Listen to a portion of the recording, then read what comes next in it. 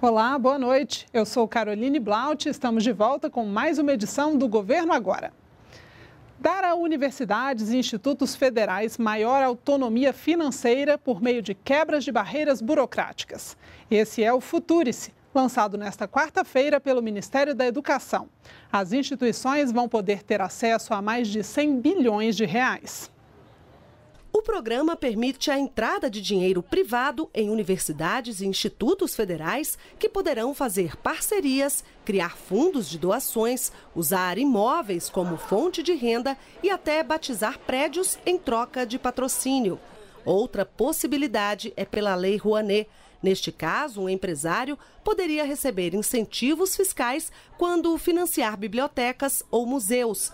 A adesão das universidades é voluntária e haverá consulta pública sobre o assunto pelas próximas quatro semanas. Para que o futuro se entre em prática, é preciso alterar a legislação. A dos fundos constitucionais e do Marco Legal da Ciência e Tecnologia são exemplos.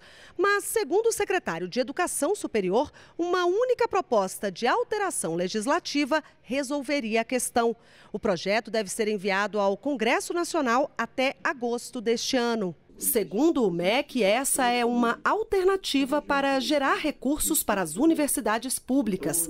Não se trata de privatização, e sim melhorar a gestão. Tem que aderir a critérios, de novo, governança, gestão, transparência com dinheiro público. A proposta estará em consulta pública até o dia 15 de agosto. Mais detalhes no site do Ministério da Educação. O governo agora fica por aqui. Continue nos acompanhando também pelas redes sociais. Até a próxima edição.